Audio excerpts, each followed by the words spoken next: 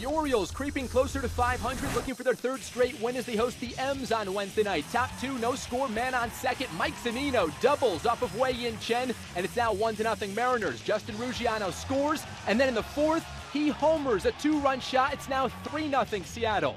Let's go to the top of the seventh. Chen's still out there. Chris Taylor smokes one down the right field line. Logan Morrison giving it everything he's got around third. He scores on the first career triple for Taylor. It's 4 0 Seattle. Bottom seven, Roenis Elias looking for his first victory since September 4th.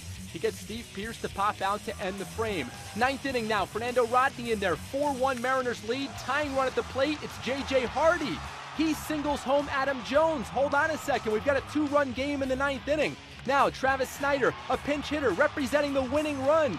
He grounds out to Robinson Cano, and the Mariners can call the 4 2 score a victory. Elias does win his first game of the season, 7 and 2 thirds, 6 hits, 1 earned, 4 strikeouts. On Thursday afternoon, the teams will play the rubber game of the series, Jay Happ against Chris Tillman.